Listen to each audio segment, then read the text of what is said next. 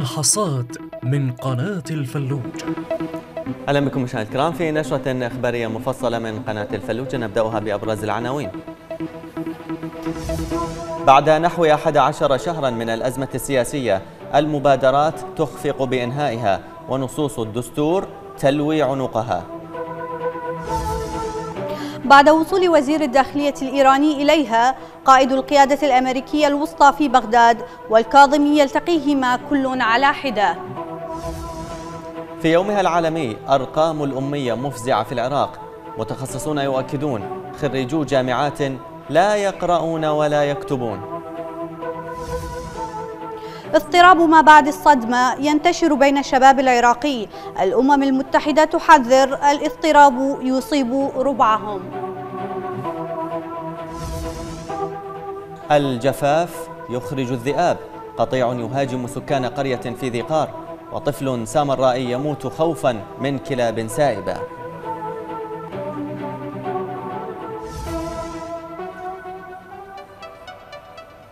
البداية سياسيا فبعد نحو 11 شهرا على الأزمة التي أعقبت الانتخابات انتخابات عام 2021 لم ينفك الإعلان عن مبادرات لحل المأزق الذي تعيشه البلاد.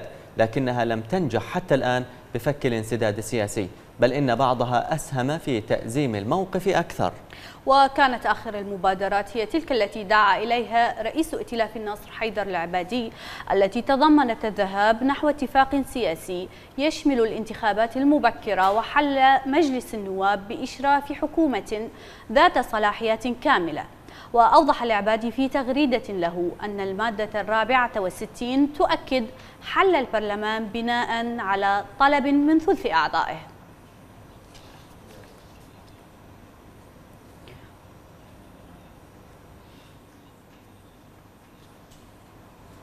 إلى ذلك كشف وزير القائد المقرب من زعيم التيار الصدري مقتدى الصدر عن رفض عودة أعضاء الكتلة الصدرية المستقيلين إلى البرلمان. مرجحا الانسداد السياسي في حال عودتهم. وأوضح وزير الصدر أن هناك سعيا من البعض وبالطرق القانونية إلى إرجاع الكتلة الصدرية إلى البرلمان مبينا أن هذا يتعارض مع مغزى انسحابهم وهو سد كافة الطرق للتوافق مع الإطار التنسيقي. مؤكدا أن احتمال عودة الكتلة إلى البرلمان ضعيف ومبينا أنه في حال عودتهم سيكون هناك انسداد سياسي مرة أخرى.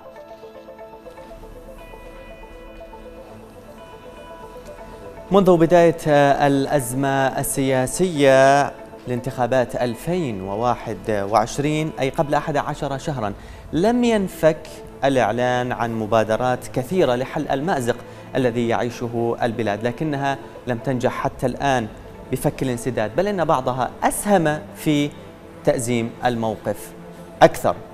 طبعا أولى المبادرات أطلقها الإطار التنسيقي في نيسان من العام الماضي وتضمنت الشروع بحوار غير مشروط بين كافة القوى السياسية إلى جانب التمسك بحق المكون الشيعي في تمثيل وتشكيل الكتلة الأكبر التي تنبثق منها الحكومة. الأمر الذي أدى إلى فشلها وعدم التجاوب معها. من أبرز المبادرات التي ما تزال قائمة حتى الآن هي مبادرة زعيم الحزب الديمقراطي الكردستاني مسعود بارزاني. هذه المبادرة تعمل على تقريب وجهات النظر بين الأطراف المختلفة والمتنازعة والتي حصل بينها سوء تفاهم حول تشكيل السلطة وكان يرنو إلى التوفيق بين الإطار التنسيقي والتيار الصدري الذي رفض الحوار مع الإطار التنسيقي وقواه. يطلع رئيس إقليم كردستان بدور مهم. بإدارة هذه المبادرة. وأيضا نجفان بارزاني قام بهذه المهمة. أما في نهاية آب الماضي طرح زعيم التيار الصدري مبادرة جديدة تتضمن عدم إشراك جميع الأحزاب السياسية التي اشتركت في الحكم وكذلك الشخصيات التي شاركت معها منذ عام 2003 وحتى الآن. بما فيها التيار الصدري ورفض إدارتها للبلاد في هذه المرحلة من أجل الخروج من الأزمة المستعصية التي يمر بها البلد. وأكد أنه مستعد لتوقيع اتفاقية خلال 72 ساعة إلا أنها قوبلت بالتجاهل من كافة الأطراف ومن ضمنها الإطار التنسيقي. في الرابع من أيلول الجاري طبعا كانت هناك موافقات من بعض القوى والأطراف المشتركة في الحكومة خاصة تلك التي تدعو إلى حكومة وحدة وطنية آه، باشتراك مع التيار الصدري إلا أن مبادرة زعيم التيار الصدري مقتدى الصدر قوبلت بالرفض بشكل شديد من قبل الإطار التنسيقي وقال بأنه أكثر الكتل والأحزاب المشاركة في هذه الحكومة هي من النخب الموجودة في الساحة ولا يمكن آه، أن تكون خارج العملية السياسية. أما في الرابع من أيلول الجاري فقد قدم رئيس البرلمان محمد حلبوسي مبادرة من عشر نقاط كانت تعتبر هي أحدث مبادرة من أجل آه، الوصول إلى صلح بين الكتل السياسية المتنازعة ومن أجل عودة العراق والعملية السياسية والبرلمان إلى وضعه الطبيعي قبل آه، أن تحصل المشكلة وتخرج الأطراف بجمهورها إلى الشارع وتنزل إليه دعا إلى انتخابات مبكرة تزامنا مع انتخابات مجالس المحافظات وكذلك في موعد أقصاه نهاية العام فضلا عن إعادة تفسير المادة السادسة والسبعين من الدستور تفسيرا واضحا يمنع تأويلها أو أي وجه من أوجه احتمالية تأويلها بشكل آه، مختلف. يبدو أن المبادرات سيؤخذ منها ما هو يخدم المصلحة الوطنية والحوار الوطني وصولا إلى اتفاق سياسي يفضي لحل المأزق الذي حصل خلال الأشهر الماضية والذي وصل صداه إلى العالم. أجمع وحذرت منه قوى إقليمية ودولية من أن الوضع لو بقي على ما هو عليه سينزلق العراق إلى منزلقات خطيرة.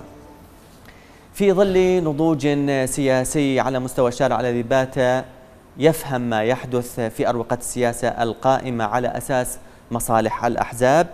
للشارع ترتفع المطالب الشعبية بضرورة تعديل الدستور. مزيد من التفاصيل في سياق هذا التقرير. وسط احتدام الصراع السياسي والفراغ الدستوري الذي يعيشه العراق يؤكد قانونيون أن أي تغيير لا يرتجى من إجراء الانتخابات فنتائجها ستكرر الانسداد السياسي الحالي مع بقاء الدستور الحالي ومواده التي تتحمل أوجها عدة من التفسيرات.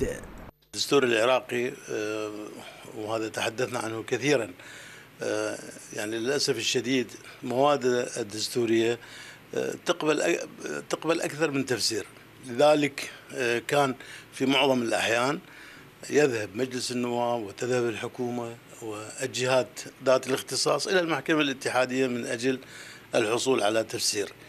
المشكلة تكمن في أن النهايات نهايات هذه المواد مفتوحة شعبيا ترتفع المطالب بضرورة تعديل الدستور في ظل نضوج سياسي على مستوى الشارع الذي بات يفهم ما يحدث في أروقة السياسة القائمة على أساس مصالح الأحزاب.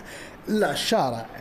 اتفق الجميع. جميع الشعب العراقي اتفقوا على أن تغيير الدستور هو مطلب شعبي وبذلك يمكن أن يؤدي إلى نتيجة أفضل مما هو عليه الآن خاصة ونحن نرى أن الانسداد السياسي هذا كيف أو ماذا فعل بالشعب العراقي. ويؤكد متابعون للشأن المحلي أن أحد أهم مداخل إصلاح النظام واستقراره هو الإقدام على تعديل الدستور بما يوضح صلاحيات كل سلطة وحقوق المواطنين وحرياتهم. وعيشهم الكريم. ليست هذه المرة الأولى التي تتصاعد فيها الأصوات مطالبة بإعادة كتابة الدستور. لكن الجديد هو أن الجميع بات مقتنعا بأنه لن يعد جزءا من الحل وأن الحاجة لوجود تشريع قادر على الاستجابة لمتطلبات العمل السياسي. أصبح أمرا لا مفر منه. من بغداد علي عبد الكريم الفلوجة الفضائية. ينضم إلينا الخبير القانوني آه، عبد الرحمن جلهم. سيد عبد الرحمن مرحبا بك. ما الذي تبقى من الأطر الدستورية؟ كما تعلم أمس المحكمة الاتحادية آه، في آه، النظر بالدعوة دعوة حل البرلمان لمحت لحل جديد يمكن من خلاله حل البرلمان لكنها لم تتطرق له. أي الطرق الأخرى تكون ممكنة لحل البرلمان؟ غير المعتادة. أهلا وسهلا بك. يعني حقيقة حتى نكون واضحين إن هو أصل اللجوء للمحكمة الاتحادية. يعني لو كان مدروس 100% آه، لما أدخل المحكمة الاتحادية ومجلس القضاء الأعلى بهذا الإحراج. آه، لأن واضح المحكمة الاتحادية حددها الدستور مهام محددة بالذات. اللي هي آه، بدأت بالمادة 92 اللي إنه هي هيئة قضائية مستقلة وعدد أعضائها كذا وال 93 حددت المهام مالتها بالضبط إنه الفصل بين السلطة التشريعية والسلطة التنفيذية، الفصل بين المشاكل اللي تحصل بينهم، تفسير القوانين نعم. اللي الغامضة أو القوانين تتعارض مع الدستور العراقي وكذلك بنفس الوقت آه، المشاكل تحصل بين الأقليم والمركز. هذا هذا الأساس. نعم. تسمعني؟ نعم أسمعك سيد عبد الرحمن. هذا إيه، هذا الأساس. والمادة 94 قراراتها باته اذا وإذا ترجع النظام الداخلي للمحكمه بالمادة أربعة ماكو شيء بالقانون مال المحكمة. لا دستوريا ولا نظامها الداخلي. أكو بيه شيء يقول إنه لها صلاحية تحل البرلمان. والدستور واضح الماده 64 اللي حل البرلمان يا أما يصير عن طريق مجلس النواب نعم. أو عن طريق الطريق الآخر عن طريق رئيس الجمهورية في حالة إنه مخالفة مجلس النواب للمدد الدستورية أو غيرها. يعني هذه هذه الآلية واضحة جدا. إذا تجي على القرار مال المحكمة الاتحادية بالفقرات كان توجيهي وأقرب إلى الالزامي إنه واحد اثنين يا أما مجلس النواب ينأى أعضاء مجلس النواب عن الانا الذاتي ويراعون مصالح الشعب ويبدون بالعمل مالتهم بشكل طبيعي على حسب الأصول بخدمة الناس تعرف أنت كل شيء معطل هسه بالعراق نعم. آه، موازنة ماكو آه، عمل ماكو آه، مشاريع متوقفة كل هذا لازم انه إنه أنت الناخب اللي انتخبك ودخلك إلى مجلس نواب لازم تفكر به بمصلحته أكبر بكثير من أي مصالح أخرى. نعم. هاي التعارضات هي اللي أثرت تأثير سلبي، واحدة من اثنين يا أما يقول مجلس النواب إنه اني أحل نفسي وينتهي الموضوع حسب ما آه، رأي أو التوجيه مال المحكمة الاتحادية بهذا الخصوص هي المحكمة الاتحادية وجهت عن مادة 64 إنه آه، مجلس النواب له الصلاحية طيب. أو رئيس الجمهورية أو آه، الجلسة إلى حوار بين الكتل السياسية حوار بناء آه، تغلب عليه مصلحة العراق بالدرجة الأولى. نعم. هذا وهو ربما أيضا يندرج في يعني مسألة حل البرلمان لنفسه طالما اتفقت الكتل فيما بينها إذا حلان لا ثالث لهما. لكن هناك آه، إجماع على ضرورة انتخابات مبكرة. هي ضرورة ومهمة وهي البيئة القانونية والدستورية لها كيف يمكن أن نتعامل معها مع الانتخابات المبكرة؟ ما هي أبرز معالمها ومعاييرها للذهاب لانتخابات ناجحة؟ لا تعيد لنا نفس الأزمة الحالية التي نمر بها. هاي الأزمة الأزمة الحالية شوف المشكلة أنه أنت عندك بين تيارين. آه، تيار أطلق الإصلاح آه، آه، ويبحث عن الإصلاح. وتيار آخر يقول لك آني الإصلاح يأتي عن طريق العملية السياسية بانتخاب رئيس وزراء جديد و آه، أو رئيس جمهورية يبقى نفسه أو انتخاب رئيس جمهورية. فهذا التقاطع صار هذا يحتاج لحوار بين الكتل السياسية حتى توصل إلى نتيجة. أنت لنفرض هسه نحل مجلس النواب وصارت انتخابات مبكرة. آه، المفوضية موجود عندها قانونها والقانون مالتها واضح والآليات مالتها واضحة. هنا راح النتائج اللي عندك أنت. هل إنه من راح تصير انتخابات مبكرة؟ هو هذا السؤال لازم يطرح بين الكتل السياسية ويصير عليه على اساسه ميثاق شرف. آه إنه هاي الكتل السياسية هل راح ترجع تصطدم مرة ثانية؟ أو تقول لك إن يصبح هناك انسداد سياسي بين هذه هذه هذه الكتل؟ هاي المشكلة الأساسية اللي واحد لازم يعالجها معالجة حقيقية بالحوار. طيب. المحكمة الاتحادية آه، وصفت حكومة تصريف الأعمال بحكومة الحكم للواقع. هل هي إشارة بأن حكومة الكاظمي تستطيع إرسال طلب لحل البرلمان؟ لا طبعا حكومة تصريف القرار الحكم الصدر المحكمة الاتحادية بناء على طلب رئيس الجمهورية. ما هي القرار رقم 120 صدر من المحكمة الاتحادية أو 122 حسب ما أذكر. م. حدد ورسم صلاحية رئيس الوزراء.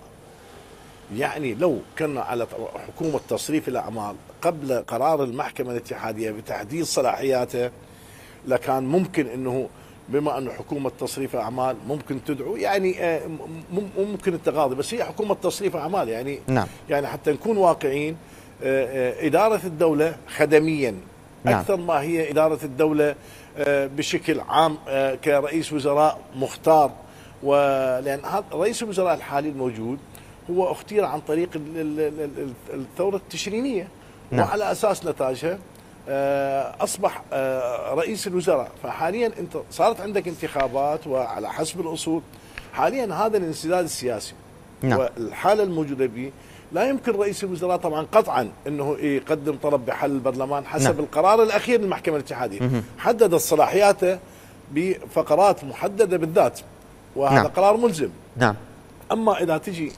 الأمور الأخرى اللي اللي ممكن الحل بها فهو دائما يجب أن يكون هسه حاليا الحوار ثم الحوار بين الكتل السياسية للخروج بنتيجة واحدة. نعم. لا ثالث لها. وضحت الصورة. حل البرلمان يا أما البقاء على البرلمان والاتفاق على على أمر سياسي معين. وأما بخصوص يعني بالتقرير مالتكم عن التعديلات الدستورية التعديلات الدستورية يعني حقيقة الدستور العام 2005 كتب على عجال. هو البلد محتل وإحنا نعرف هذا الواقع كله. آه، آه، الكثير من النصوص معومة. الكثير من النصوص عبارة عن فخوخ.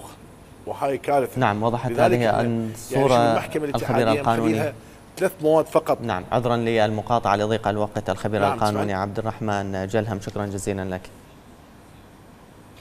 نعم بحث رئيس الوزراء مصطفى الكاظمي مع قائد القيادة المركزية الأمريكية الوسطى الجنرال مايكل كوريلا تطورات الأوضاع في العراق والمنطقة بالإضافة إلى بحث آفاق التعاون الثنائي لا سيما العسكري. وجرى خلال اللقاء التطلع إلى تطوير التعاون الثنائي في المجالات الأمنية والعسكرية المختلفة.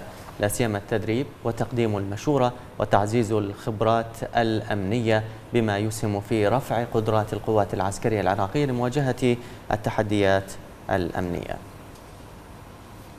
إلى ذلك أكد وزير الداخلية الإيراني أحمد وحيدي أهمية الحوار الهادف بين القوى السياسية للوصول إلى حلول تضمن استقرار العراق وأمنه الأمن السلمي.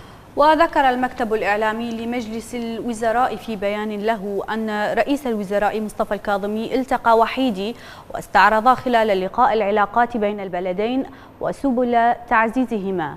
ودعم ودعم التنسيق المشترك في المجالات التي تخدم الشعبين العراقي والإيراني.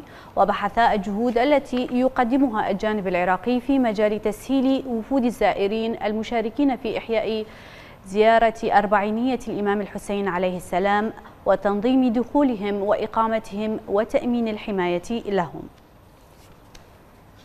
وفي سياق آخر أكدت الإدارة الأمريكية ضرورة تكثيف الجهود لحل المشكلات بين الإقليم والحكومة المركزية خصوصا الخلافات بشأن النفط والغاز لأن عدم حلها سينعكس سلبا على أمن العراق واستقراره. وذكر بيان لرئاسة مجلس وزراء الإقليم أن رئيس وزراء الإقليم مسرور بارزاني التقى مساعدة وزير الخارجية الأمريكي لشؤون الشرق الأوسط باربارا ليف وتناولا خلال اللقاء. تطوير العلاقات بين الولايات المتحدة وإقليم كردستان وآخر التطورات في الوضع السياسي العراقي بالإضافة إلى التغير المناخي وآثاره السلبية على العراق والإقليم وتعزيز الاستثمار الأمريكي في كردستان. في أربيل أيضا أكد رئيس إقليم كردستان نتشرفان بارزاني أن مشكلات العراق لن تحل بتهميش أي قوة أو طرف سياسي ويجب أن تتوصل مكونات العراق كافة من خلال الحوار والتفاهم إلى أسلوب للتعايش بينها. وذكر بيان لرئاسة الإقليم أن الرئيس نيجيرفان بارزاني استقبل مساعدة وزير الخارجية الأمريكي باربارا ليف ووفدا مرافقا لها وبحثا العلاقات الأمريكية مع العراق وإقليم كردستان والمساعي الرامية إلى حل المشكلات العالقة بين أربيل وبغداد. وأضاف البيان أن ليف أكدت الدعم الكامل لاستتباب الأمن والاستقرار السياسي في العراق.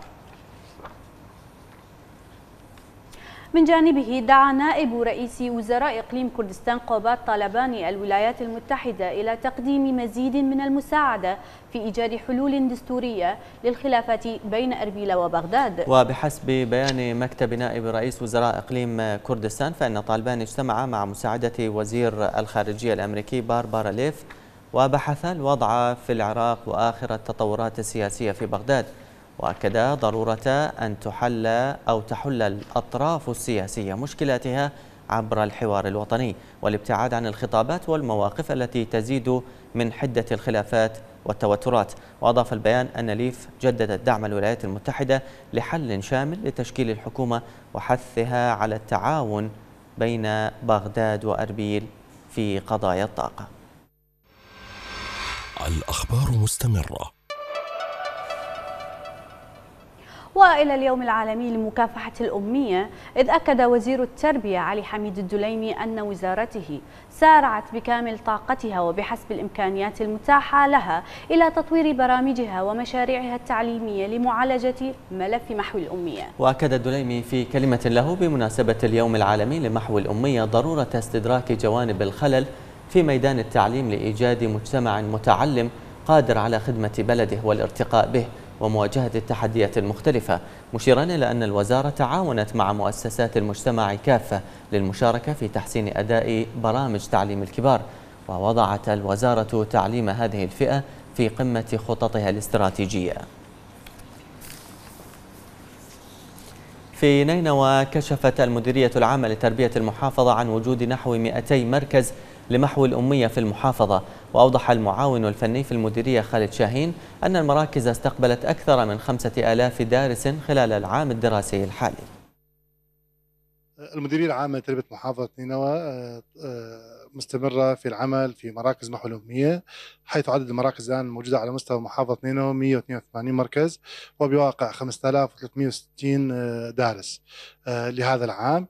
وهناك طبعا جهزتنا دوائر الدولة بما التابعة لمحافظة نينوى بأكثر من 2000 دارس يلتحقون إن شاء الله في مراكز ستفتح لهم في دوائرهم. وهناك طبعا حملة آه، من أجل آه، القضاء على الأمية في المحافظة. هناك أعداد كبيرة من آه، الأميين الموجودين في محافظة نينوى كون المحافظة ذات كثافة سكانية عالية أكثر من 4 ملايين يقطنون هذه المحافظة. فبالتأكيد هناك نسبة عالية من هؤلاء لا لا لا يقرؤون ولا يكتبون. وبالتالي مراكزنا مفتوحة ودعوة لجميع المواطنين الموجودين في المحافظة الالتحاق بهذه المراكز.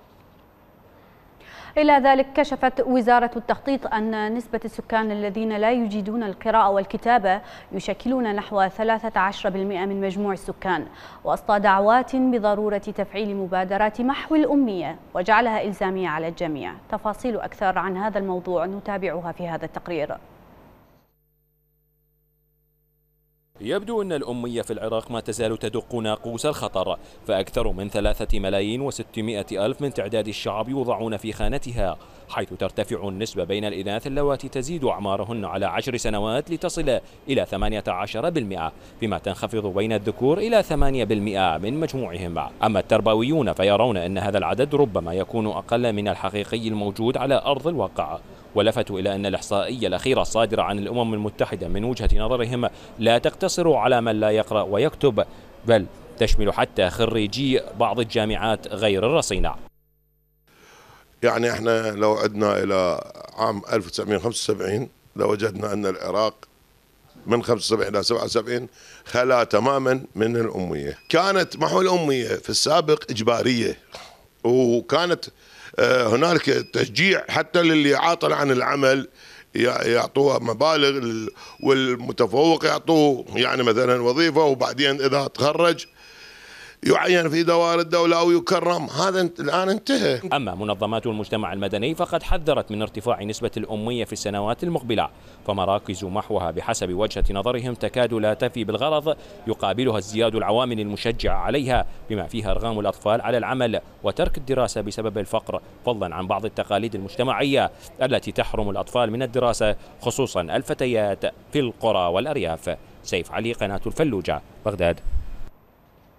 وللحديث عن هذا الموضوع ينضم إلينا الناطق الرسمي للجهاز التنفيذي لمحو الأمية في العراق السيد مؤيد العبيدي. أهلا وسهلا بك.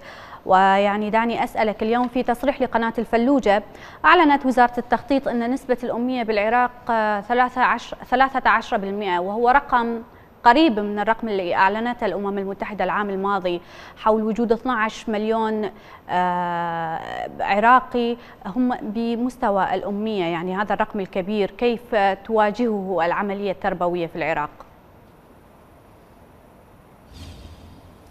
عليكم السلام ورحمة الله وبركاته. شكرا على الاستضافة. آه، نعم آه، هذه الأرقام وزارة التغطية وزارة التخطيط لديها معطياتها التي تعمل عليها في إعطاء بعض الأرقام. لكن إحنا بشكل عام كوزارة التربية وجهاز تنفيذي لمحو الأمية لا يوجد لدينا يعني أعداد دقيقة آه، ونسب حقيقية للأمية في العراق. لكن هذه المنظمات آه، تأخذ آه، جوانب هي لديها يعني أيضا معطياتها في إعطاء نسب وأعداد للأميين لكنها غير دقيقة. في المحصلة الأمية هي موجودة يعني تشكل خطر أيضا على المجتمعات. آه، ومثل ما أشار التقرير لحضرتكم العراق عنده تجارب آه، ناجحة في هذا المجال آه، العراق بلد حضاري بلد ثقافة بلد العلم لا يمكن أن تكون فيه الأمية بشكل واسع. التجربة السابقة في نهاية السبعينات وكانت حملة محو أمية إلزامية واشتركت فيها كافة مؤسسات الدولة واستطاع العراق أن يجتاز آه، مرحلة الأمية ويحصل على آه، يعني شهادة اليونسكو بأن العراق خالي من الأمية. لكن الأمية مرتبطة أيضا بعوامل آه، عديدة عندما يكون البلد غير مستقر ويمر في ظروف غير مستقرة باستمرار هذا يؤدي أيضا إلى يعني تفشي الأمية وبسبب يعني الظروف العوامل الاقتصادية العوامل الاجتماعية بسبب الحروب هذه كلها تأثر آه، في انتشار الأمية طيب. لكن إحنا نعم. بعد عام 2003 انتبهت انتبهت الحكومة إلى آه، هذه المشكلة لأن الأمية عادت من جديد في آه، في التسعينات بسبب الظروف الاقتصادية والحصار والمشاكل اللي مر بها البلد انتبهت الحكومة العراقية إلى هذا الأمر والمعنيين بالشأن التربوي بالتربوي نعم. وزارة التربية طيب آه، نعم. يعني سيد آه، مؤيد يعني ما الذي ما الذي يمنع وزارة التربية من الحصول على أعداد دقيقة عن نسبة الأمية في العراق خصوصا إن هذا الموضوع مهم جدا يتعلق بمستقبل البلد؟ نعم نعم. آه، هو هي شلون تبنى النسب والأعداد؟ من من أين تؤخذ يعني؟ تؤخذ على أساس آه، يكون هناك تعداد عام للسكان في العراق. آخر تعداد عام للسكان في العراق كان في ال 97 نعم آه، يعني هذا التعداد الجميع يعلم أن التعداد العام للسكان آه، هو تعتمد عليه أي دولة أو أي بلد يكون لديها تعداد تعتمد عليه طيب. اعتماد كامل في يعني رسم الخطط التنموية والبناء التحتية لكافة المؤسسات من ضمنها الأمية وغير الأمية تبين الأعداد الحقيقية اللي من خلال الجرد والمسح الميداني نعم. لكن إحنا نعم أستاذ مؤيد بس إذا تسمح لي نتكلم عن يعني صدور قانون نعم هناك ارتفاع مستمر ب يعني عدد سكان العراق. يعني هل الدولة قادرة على آه، يعني منع تصاعد أيضا نسبة آه، الأمية مع في ظل ارتفاع عدد السكان؟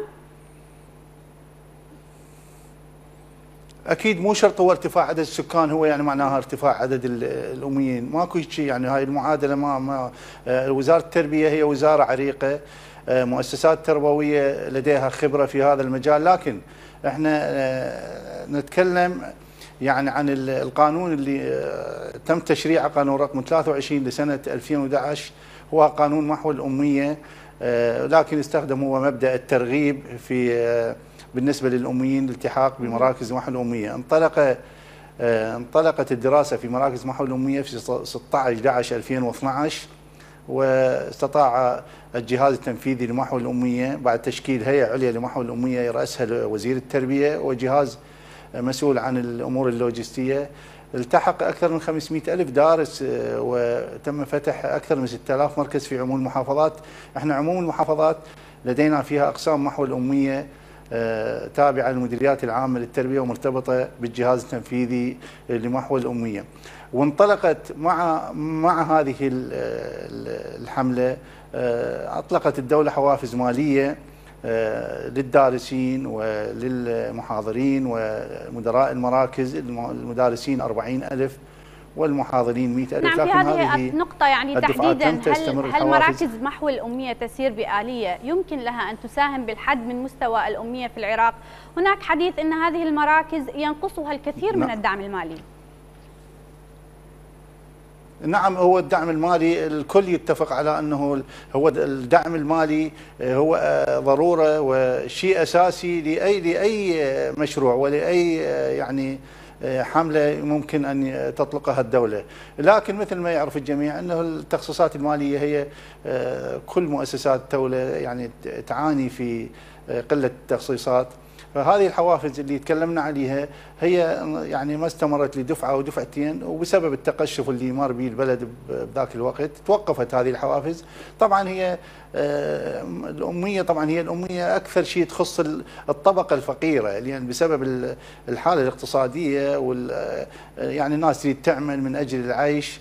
آه، فلذلك عندما توقفت أثرت يعني انعكس سلبا لكن وزارة التربية والمتمثلة بالجهاز التنفيذي للمحو الاميه استخدم يعني الإجراءات البديلة. إجراءاتنا آه، يعني استطعنا أن نحد ونقلل من أعداد آه، الأمية آه، من خلال برامجنا. يعني برامج مراكز محو الأمية المنتشرة ليس فقط يعني فقط على الأميين اللي مثلا يلتحقون المراكز للحصول على شهادة محو الأمية، أيضا عندنا مراكز التعلم المجتمعي وهذه المراكز هي من أجل التمكين الحصول على فرصة التعليم وإضافة إلى الحصول على آه، الحرف نعم. والمهن المتنوعة هذه المراكز آه، يعني بالنسبة للعنصر النسوي لدينا أكثر من 45 مركز تعلم مجتمعي في بغداد نعم. والمحافظات هذه المراكز هي مراكز محو الأمية يعني نمحي أمية الدارسات ونمنحهم شهادة. طبعا الشهادة اللي نمنحها في مراكز محو الأمية هي شهادة معادلة للصف الرابع الابتدائي. نعم. وإمكان اللي يحصل على هذه نعم. الشهادة أن يكمل دراسته الخامس ابتدائي. وإضافة إلى آه، أنه نمحي محوميه الدارسات. لدينا ورش في هذه المراكز ورش في الحاسوب وصناعة الأغذية والحلاقة وغيرها. آه، تساعد النساء في تعلم الحرف والمهن المتنوعة تساعدهم في حياتهن اليومية. نعم إضافة إلى ذلك نعم يعني نعتذر منك لضيق الوقت. السيد مؤيد العبيدي الرئيس أو الناطق الرسمي لجهاز التنفيذي لمحو الأمية. شكرا جزيلا لك وشكرا لانضمامك إلينا.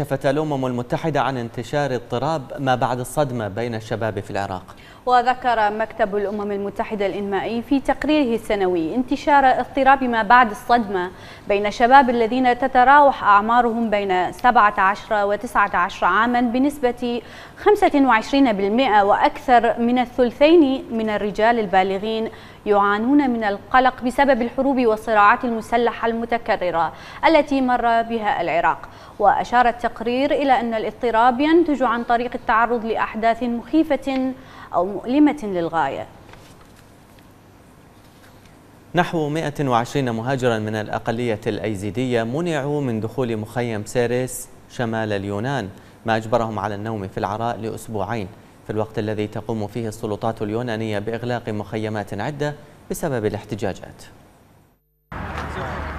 هنا شمال اليونان تحت أشعة الشمس يقيم هؤلاء الشباب الذين نزحوا من الموت إلى الحياة لكنهم لم يعرفوا أي حياة تنتظرهم. المجهول يحاصرهم من كل الجهات. فروا من داعش عام 2014 حالمين بمستقبلهم ومستقبل عوائلهم. ليستقروا هنا حيث لا شيء.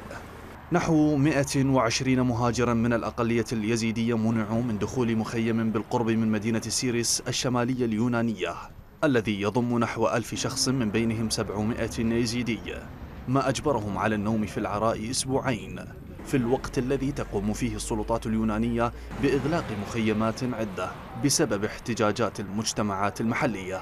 مسؤولون في المخيم طلبوا عدم الكشف عن هويتهم أكدوا أن المخيم بات غير قادر على استيعاب أعداد أخرى من المهاجرين خاصة أن المخيم يضم 60 سريرا تقريبا. سيتم توفيرها للنساء والأطفال. كنا ننتظر خارج المخيم في سيريس باليونان لثلاثة عشر يوما متتاليا. ونحن الأيزيديين يتراوح عددنا بين 130 و 150 شخصا. لم يتم استقبالنا ولم يأتي أحد لمساعدتنا. يمكن أن يصل عددنا من 300 إلى 400 مهاجر آخر في الأسبوع المقبل. في بلادنا لا يوجد أمن هناك القتل فقط. لذلك وصلنا إلى هنا بعد ستة أيام من المشي والتعب والجوع. كنا في الغابة نرهق من شدة الجوع والتعب. قبل أن نصل إلى هنا. السلطات اليونانية أكدت أنها تعمل على حل المشكلة التي يواجهها هؤلاء المهاجرون بتوفير المأوى في مخيم سيريس أو في مخيم آخر وفق وزارة الهجرة اليونانية.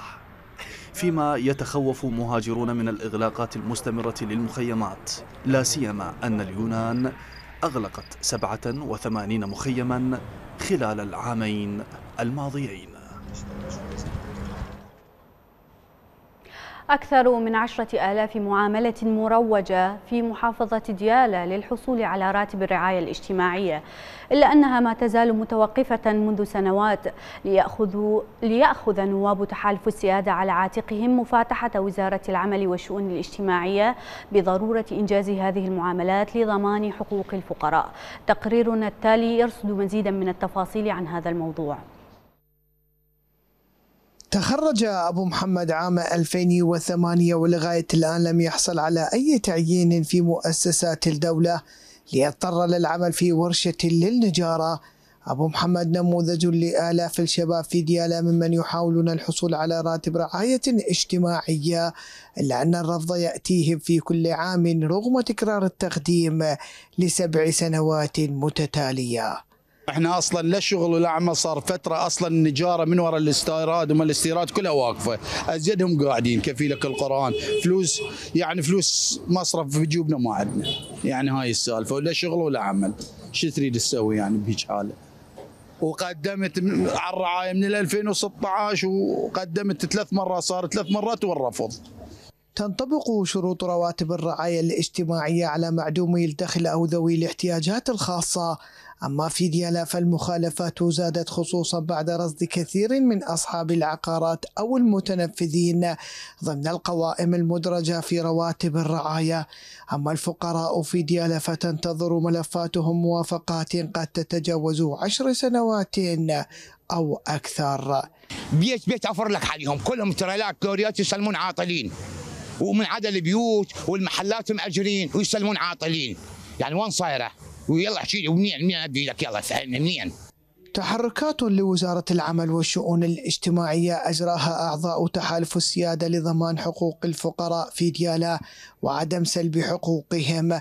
تحركات اعتبرها متخصص إحدى الخطوات لتوفير لقمة العيش لآلاف العائلات المهمشة في ديالا. اليوم آه، نواب آه، المشروع العربي ونواب تحالف السيادة آه، عازمون على مراجعة الدوائر كافة من أجل إيصال صوت الناس لتلك الوزارات واستحصال الموافقات الخاصة فيما يخص معاملاتهم الإنسانية والتجارية وباقي المعاملات. بالحقيقة وزارة العمل كانت غير موفقة في شمول السابق لكثير من الشرائح. ويتبين من خلال آلاف المعاملات مدى التقصير الحكومي تجاه الشريحة الفقيرة التي ينتظر أصحابها لسنوات دون الحصول على أي حقوق في دولة غنية مثل العراق. من محافظة ديالى عمر العبيدي قناة الفلوجة. الأخبار مستمرة. في الشأن الأمني أعلنت قيادة العمليات المشتركة إحباط مخططات إرهابية لاستهداف زوار أربعينية الإمام الحسين عليه السلام في عدد من محافظات البلاد. وقال المتحدث باسم قيادة العمليات اللواء تحسين الخفاجي أن جميع العمليات التي قامت بها القوات الأمنية في شمال راوة وفي ديالى وجنوب غرب كركوك لها علاقة بزيارة أربعينية الإمام الحسين مؤكدا أن هذه العمليات أسفرت عن قتل واستهداف عدد من الإرهابيين بواسطة سلاح الجو مشيرا إلى أن هؤلاء كانوا يخططون لعمليات إرهابية ضد الزوار والقوات الأمنية. هذا وأكد قائد عمليات كركوك الفريق الركن علي الفريجي أن القوات الأمنية في المحافظة حققت نتائجا في عملية الإرادة الصلبة عبر قتل عدد من عناصر داعش وتدمير أوكار وضبط عدد من العبوات وأكداس السلاح. وأوضح الفريجي أن عمليات الاستطلاع المسلح في تنفيذ الواجبات باعتماد عشرين كمينا وتنفيذ أربع عمليات إنزال. معززة الاستقرار الأمني إلى جانب ضربات جوية جعلت القوات الأمنية تنتقل من مرحلة الدفاع إلى التعرض والهجوم. بدوره أكد معاون قائد عمليات كركوك اللواء الركن خير الله عيسى استمرار العمليات العسكرية في محافظة كركوك للقضاء على العناصر الإرهابية بعد إتمام عملية الإرادة الصلبة التي أسفرت عن قتل عدد من الإرهابيين وضبط أكداس عدة من الأسلحة والمعدات العسكرية. عملية من يوم 28 8 لحد هذه اللحظة وهي قتل عناصر ارهابيه عدد ثلاثة وتدمير أوكار ومضافات لداعش ارهابي 24 واستيلاء على احداث عدد ستة وتفجير والعثور على ابطال أبطال وتفجير 95 عبوه ناسفة ومصادر تفجير إضافة إلى الحضور على 29 26 قذيفه مدفعية بالاضافه إلى قنابل حساب قنابل متعددة الانواع والاحجام وصواريخ قاذفه عدد 18 واحزمه ناشفه وحشوات دافعه للقاذفات إضافة إلى هاونا هاون مع الركائز صار الاستعمال وإضافة إلى دراجات نارية وكاميرات وزوارق ومحرك زورق وحاويات عتاد وصمامات للقنابل وولدات كهربائية. إضافة إلى تم احداث أو ضربة جوية لعناصر داعش الارهابيه وتم قتل إرهابيين اثنين.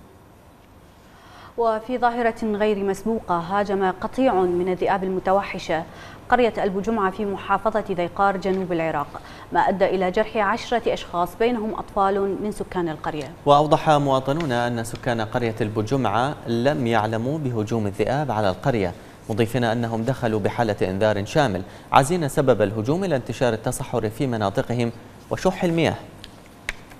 تحديدا منطقة آل زيرج. عدد الإصابات كان عددها يتراوح آه، حوالي 10 إلى 11 إصابة. آه، شدة الإصابات كانت مختلفة.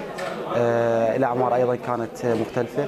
إجراءاتنا كطوارئ مستشفى الناصرية التعليمي يعني قمنا بالإسعافات الأولية إعطاء مصل المضاد لداء الكلب بالإضافة إلى المضادات الحيوية والمسكنات.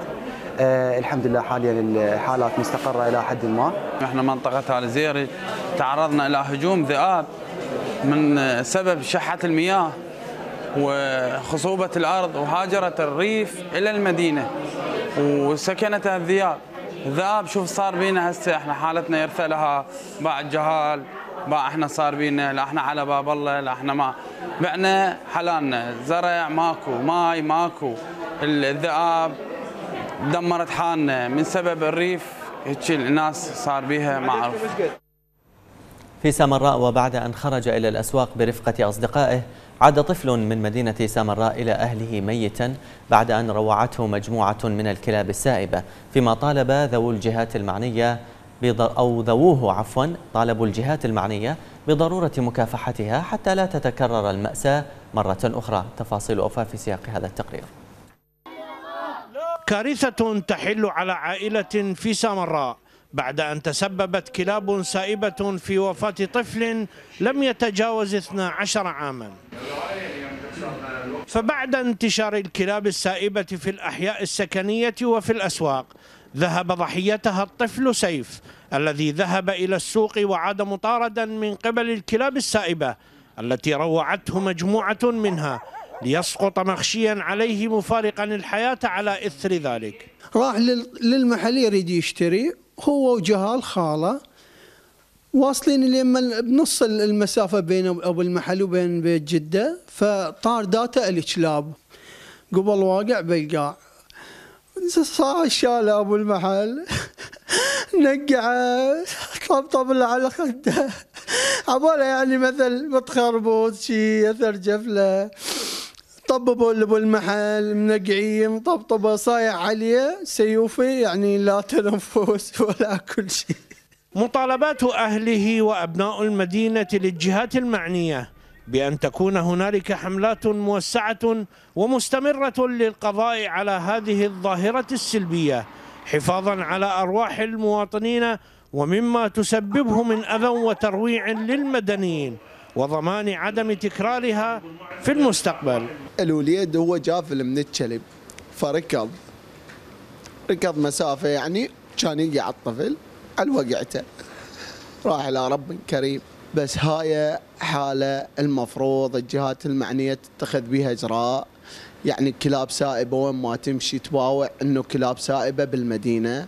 أي منطقة تطلبها بها عدة تلقى عدة يعني مجموعات مال كلاب.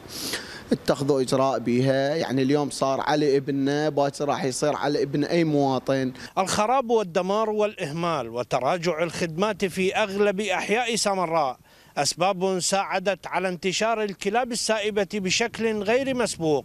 وسط دعوات تتكرر بين الحين والآخر للحد منها.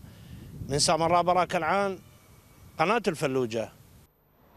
تستمر محافظة الأنبار بتقديم خدمات تسهم في تطوير واقع المحافظة العمراني حيث أكملت مراحل التصميم تمهيدا لتنفيذ طريق 120 الاستراتيجي الذي سيبدأ من شرق الرمادي حتى جنوبها وبطول يبلغ نحو 28 كيلومترا ليحيط بالمدينة ويقدم كثيرا من الخدمات لساكنيها. تفاصيل أوفى عن هذا التقرير أو هذا المشروع في هذا التقرير. واحد من أكبر المشاريع الاستراتيجية وأكثرها أهمية في محافظة الأنبار.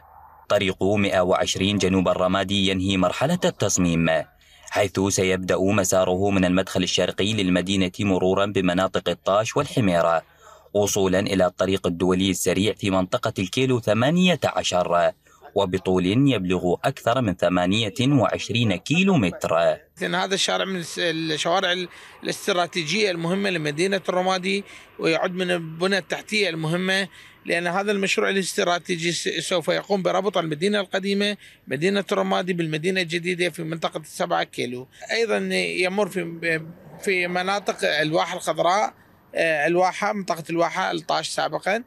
أيضا يبلغ طوله 130 كيلو متر 130 كيلو متر طبعا آه، وبعرض 120 المسح الميداني انتهى والعمل مستمر في سبيل استكمال كافة الإجراءات الميدانية من خلال رفع العبوات بواسطة فريق متخصص لفتح المسار في الأرض المخصصة للمشروع كمرحلة أولى حسب إحداثيات التصميم الأساسية.